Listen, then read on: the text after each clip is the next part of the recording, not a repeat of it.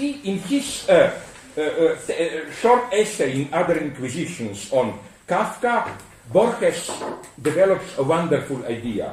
He says that with ordinary authors, you can play the game who were their influences. You know, like that idiot was influenced by Dostoevsky, this up and down.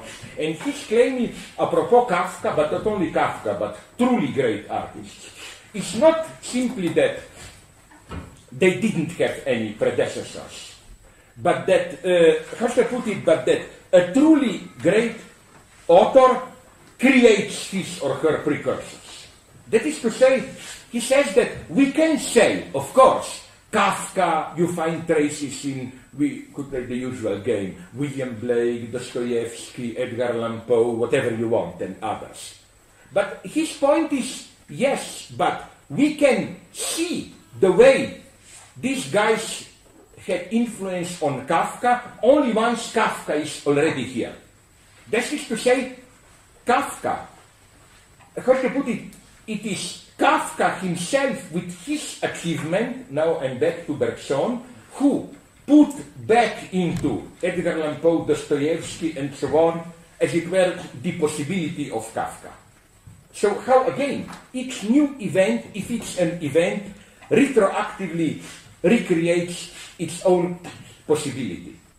And that's what Hegel calls totalizing. It's not we are just element in the totality. Totalizing rather means radically open contingent history.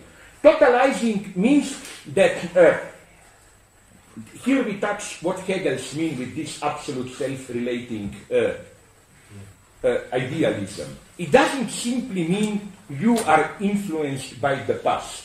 It means in a retroactive movement, movement, you also change the past, of course, not the real past, but the past it exists now, uh, putting into it the possibilities of the way it influences. Again, Dostoevsky didn't only influence Kafka. If it's only through Kafka that that dimension of Dostoevsky became discernible for us, and so on and so on.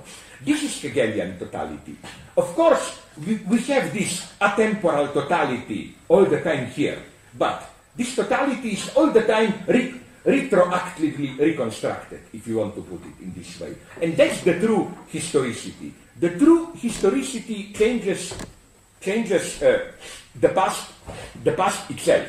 So let's make a step further here before concluding for today.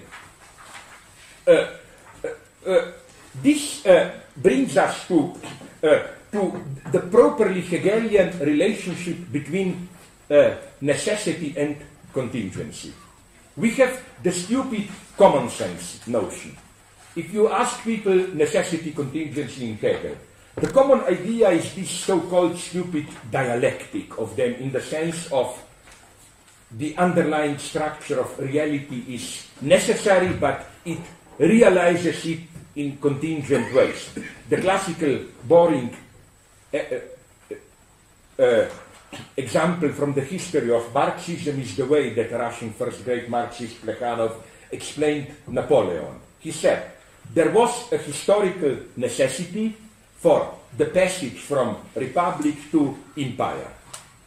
But it was a contingent fact that it was exactly Napoleon. It could have been something, you know, like necessity is a general tendency, necess- or, you know, this simple statistic game. You know, like, like, uh, sorry, I'm vulgar guy. Like, we fuck each other, we multiply, but who fucks whom is contingent, but the general necessity sorry.